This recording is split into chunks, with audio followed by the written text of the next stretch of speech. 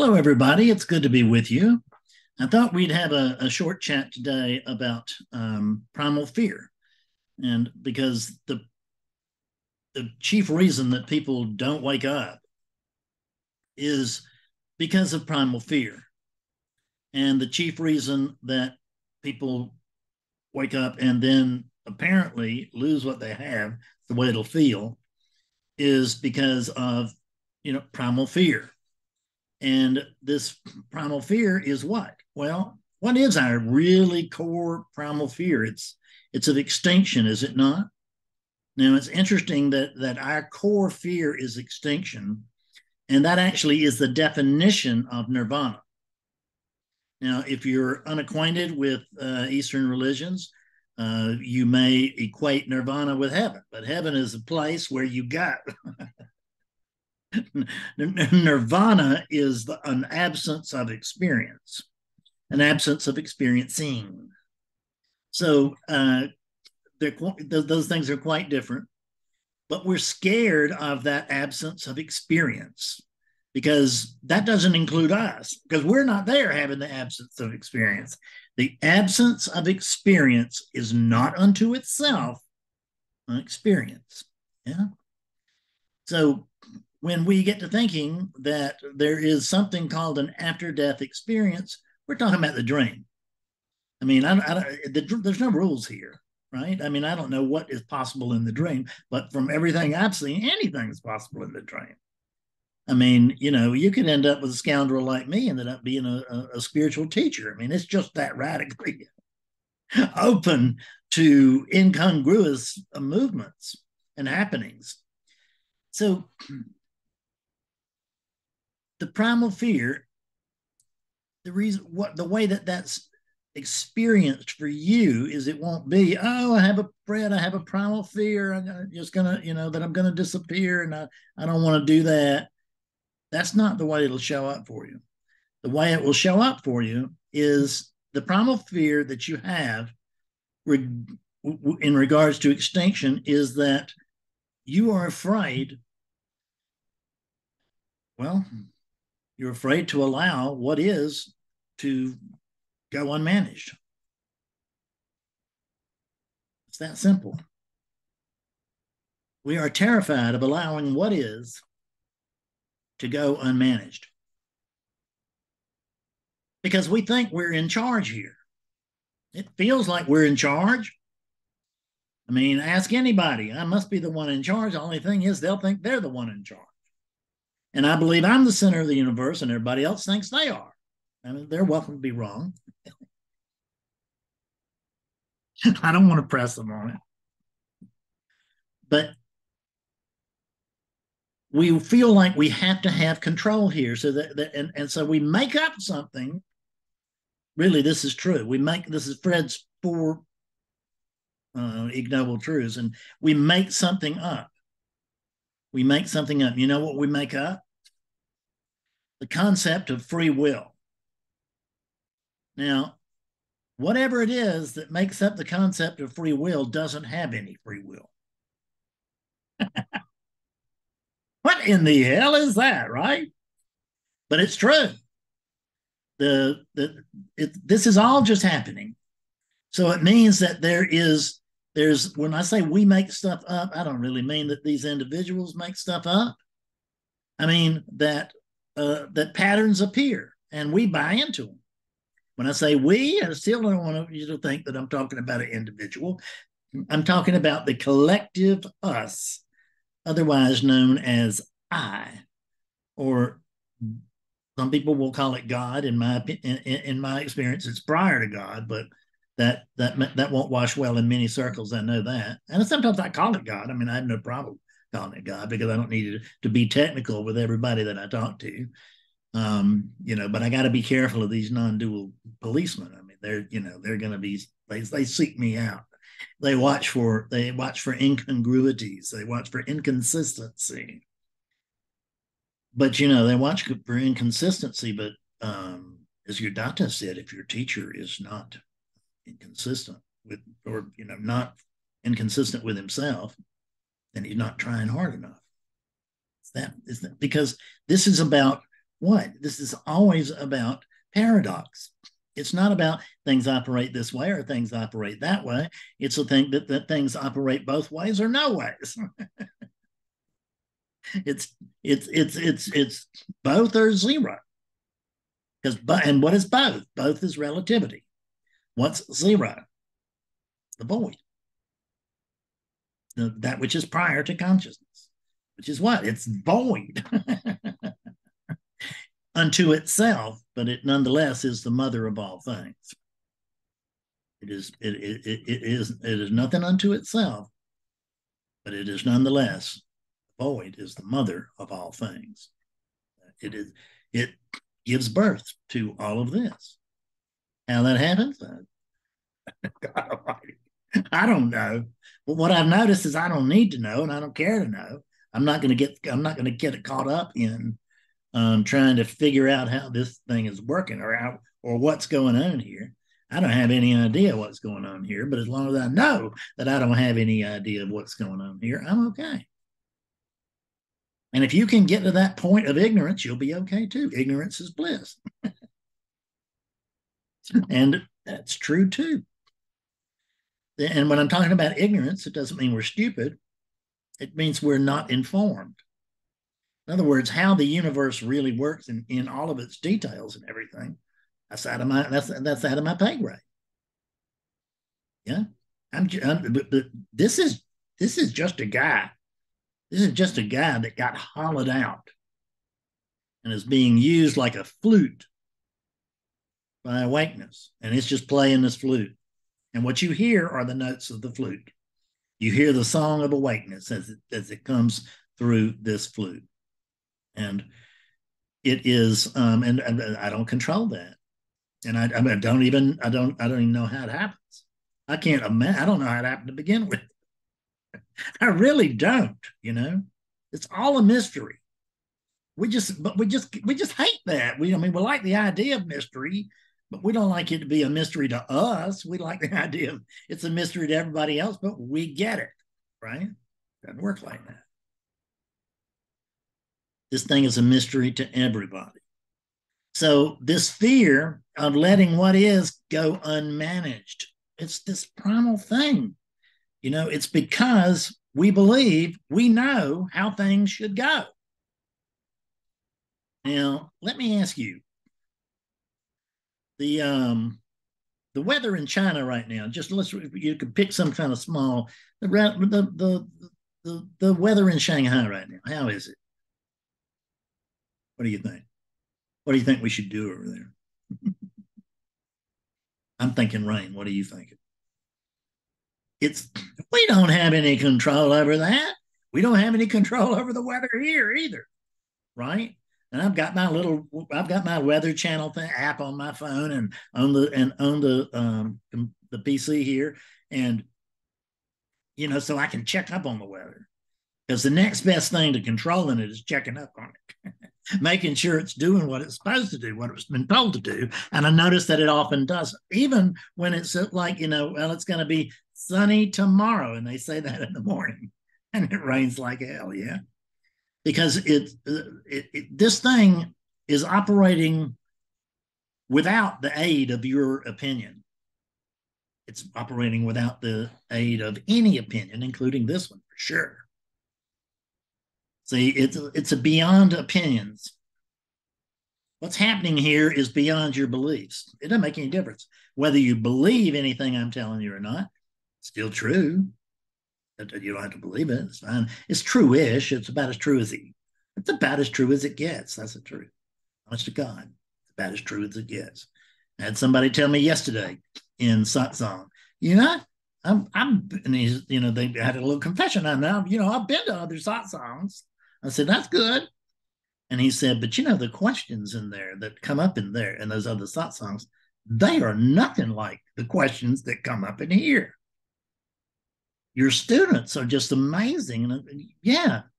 And um, they didn't all come here that way. some came here pretty amazing, some didn't, right? But everybody that stayed and played uh, is is amazing now, and they ask questions about uh, questions about living as a awakeness within the bounds of the dream, which we call the world. We'll call it world. So, how to live as awakeness through the unit in the dream or in the world, right? That's what it's really all about.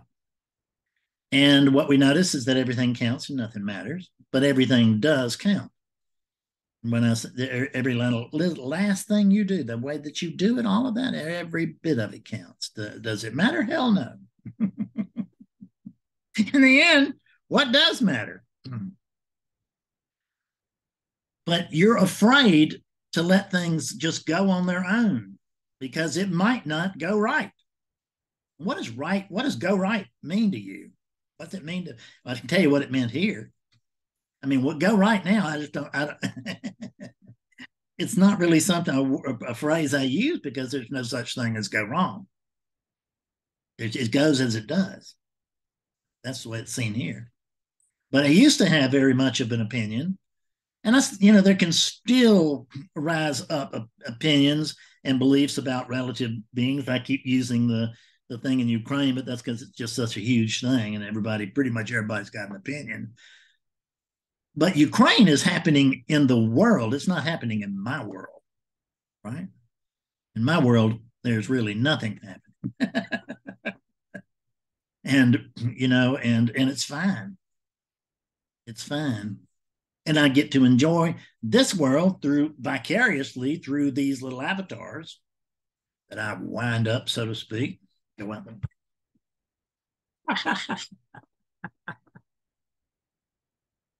Hey, I think I'm in charge, says the puppet, right? God Almighty. It's, Brett, I got this. My little mouse, yeah. The uh cute little mouse.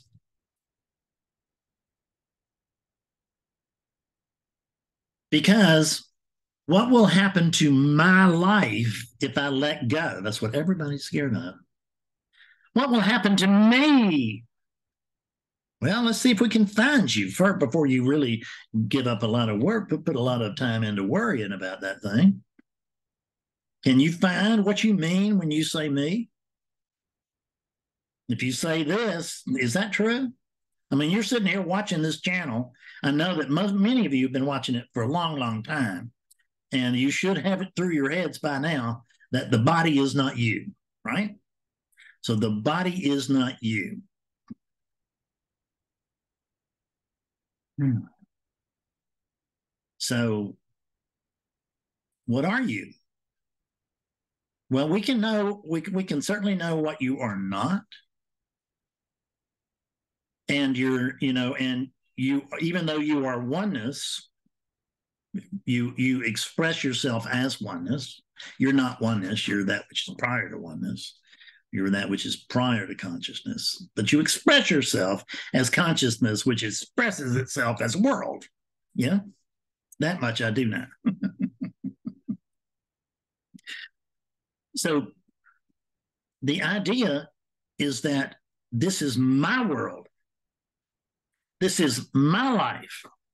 What's happening with my awakening? Fred, is my awakening going along like it should? Well, I don't know. Check with the source. and if you, you know to go to the source, it's going as it's going. I know that.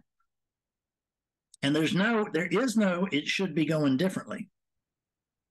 You, you, you, that sense that you have that you, I just, I should be brighter than this, or should be more awakened than this, or I should be clearer than this, or whatever. Not true. It's just not true. It's never true. It never, ever is it true. You are as you are at every given moment, and you are as you are chiefly because you cannot be any other way than exactly the way that you are. And this is an expression of you. Just like this is an expression of you, this is also an expression of you.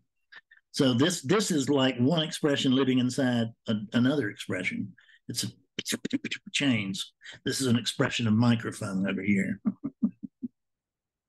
it is. It's awakeness. And I don't. I can't recognize any consciousness in it but that's because I am consciousness and I can't recognize what's outside of consciousness or prior to consciousness, whatever. And I don't know really know the case on this stupid microphone, but it is, but it's here. It's within manifestation, and manifestation is consciousness. But you can equate those two.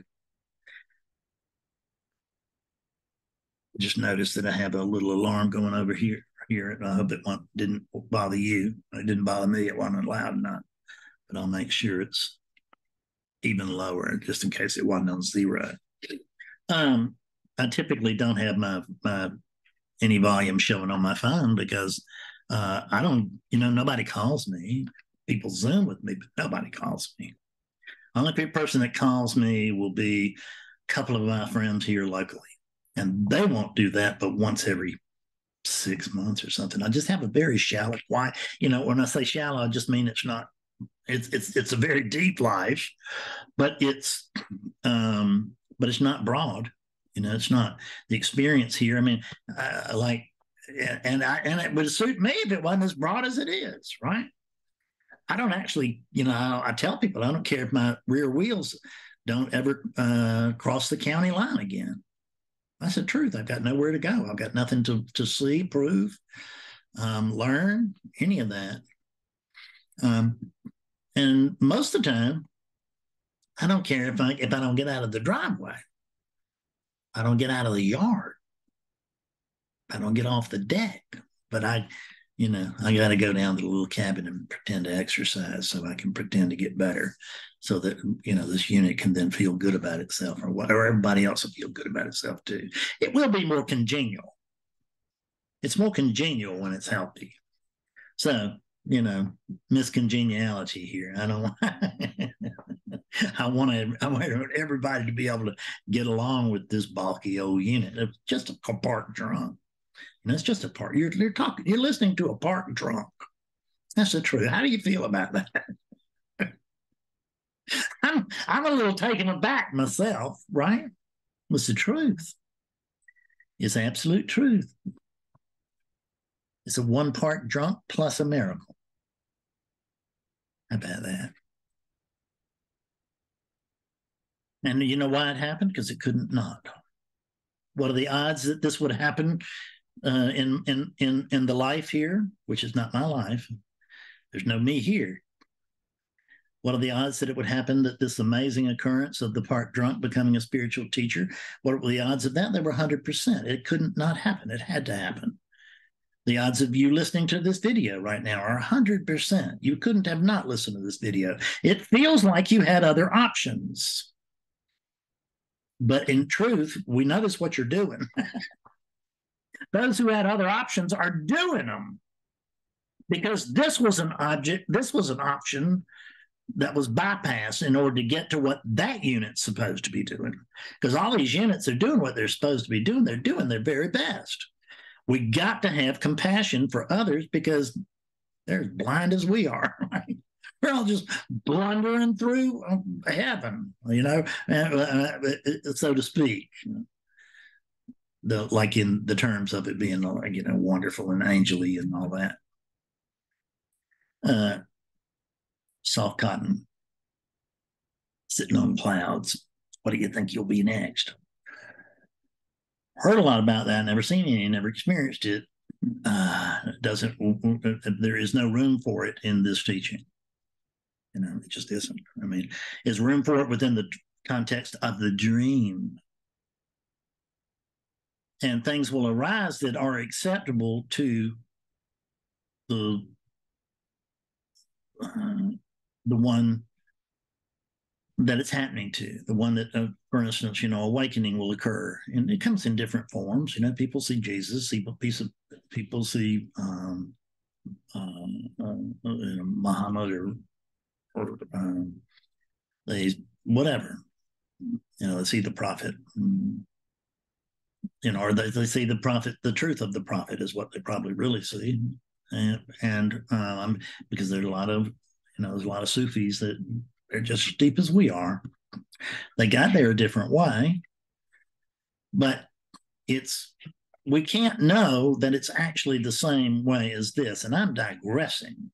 So I'm going to stop digressing. And I'm going to close this damn video out by just saying, look,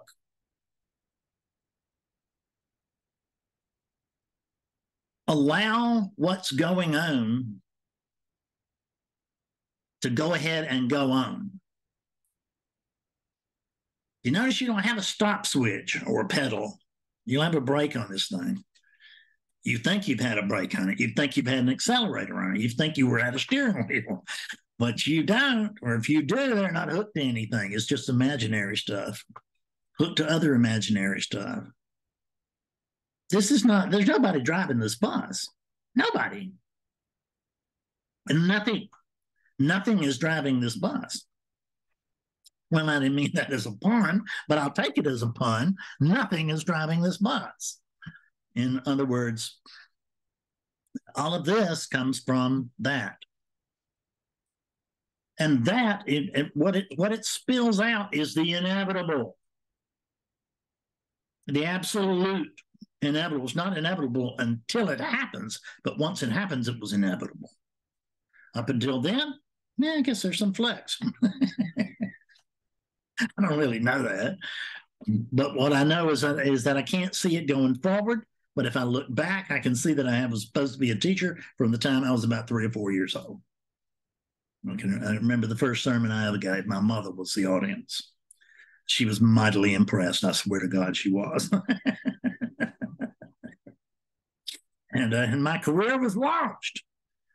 I just took some side steps there for a few decades.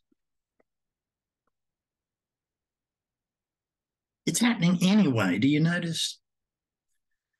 How deep a claw marks do you want to leave as you're being pulled along with the inevitable?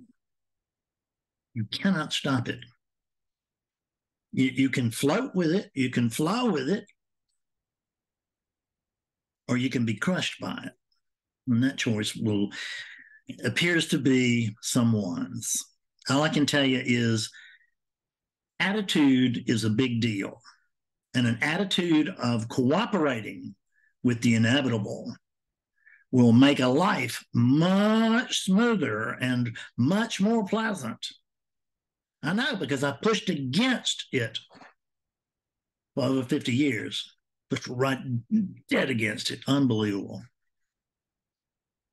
Even at the, and even when I had seen the, the insanity of it, the patterns were here and I couldn't not stop doing it for, for quite some time.